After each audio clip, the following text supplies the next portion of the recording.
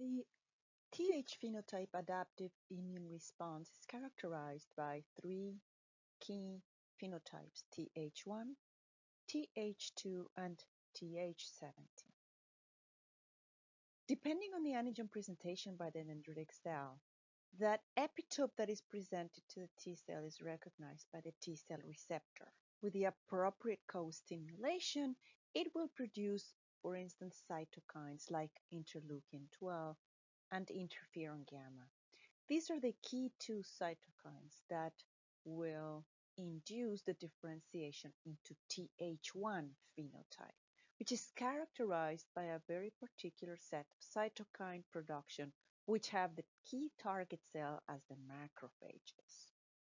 This Th1 response that's actually conducted by the activated macrophages is basically triggered by intracellular pathogens and it works in tissue repair and foreign bodies. In other words, the danger signal that is presented to the T cell by the dendritic cell is derived from either intracellular pathogens or because we do need tissue repair after surgery, after we cut ourselves, or foreign bodies, like having a splinter.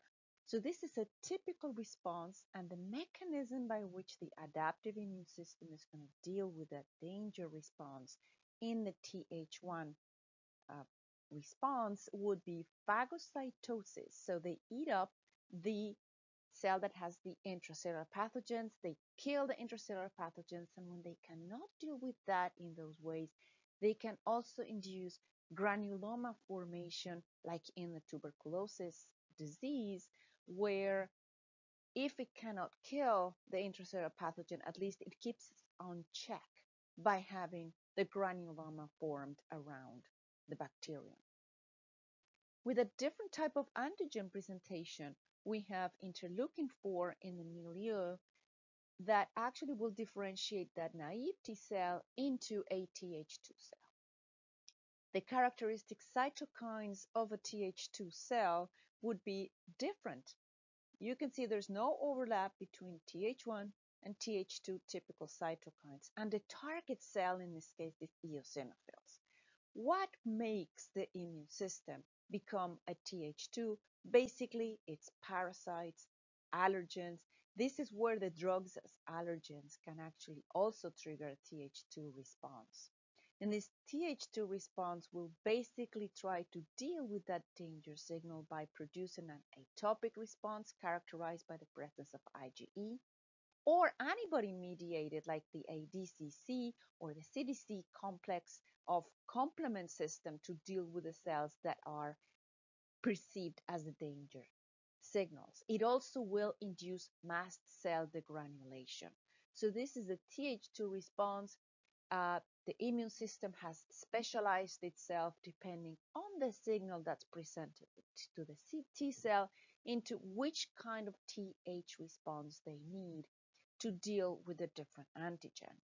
And finally, we have a more complex milieu that will have a presence of certain cytokines like interleukin 1, 6, 21, and 23, but they cannot act alone. They have to be in a cocktail with TGF beta to then differentiate that T cell into a Th17.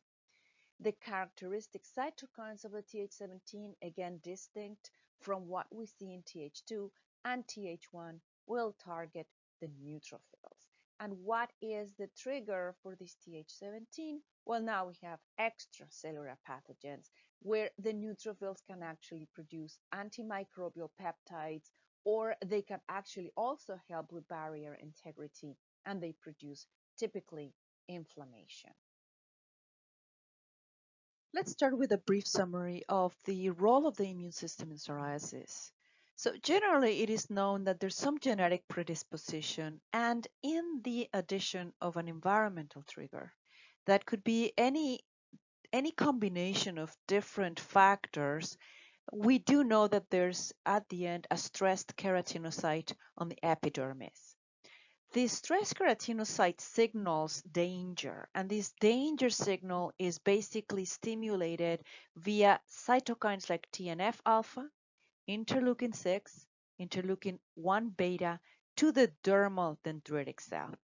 This cell will now look at this potential danger signal and it will actually migrate towards the lymph nodes when it's activated and it's going to be presenting the specific T cell antigen that the T cell will recognize via the T cell receptor. This antigen is unique to that specific interaction with the stress keratinocyte. So that signal is the one that the dendritic cell that's activated presents to the T cell and in the addition of a, an appropriate co-stimulation, the T cell will now produce interleukin 12. That makes the T cell differentiate into a Th1. The Th1 travels back, migrates, and co-localizes to the original site of the perceived danger, in this case, the skin. And it will produce TNF alpha, interleukin 2, interferon gamma, and the target cell is a macrophage, the one that we know as M1. This macrophage is going to deal with the perceived danger, basically, from the stress keratinocytes, and it will try to produce the defense mechanism from the adaptive immune system that's typical for the Th1 response. Now, this particular interaction from the keratinocyte in psoriasis is known to also activate interleukin 23 when the dendritic cell presents the antigen to the T cell. And this will differentiate other set of T cells into the Th17s, which in turn will produce a typical Th17 profile, which is interleukin 17 and interleukin 22, basically that will stimulate neutrophils. Now, neutrophils are not normally in the epidermis, and this is a very typical Th17 response going back to the site of perceived danger and stimulating neutrophils at the site of the original stress of the skin. In addition, keratinocytes do have receptors to interleukin 17, and they will proliferate and be activated with more inflammatory cytokines, and this results in psoriatic plaque.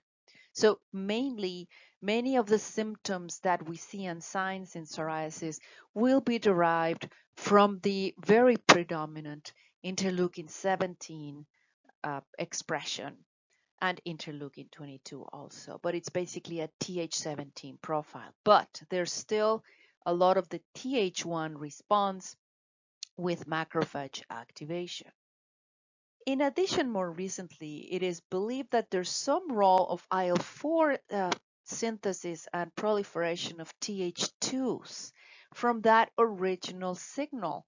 This Th2 will activate the M2 macrophages that are well known to produce and stimulate angiogenesis, which is also seen in plaque psoriasis.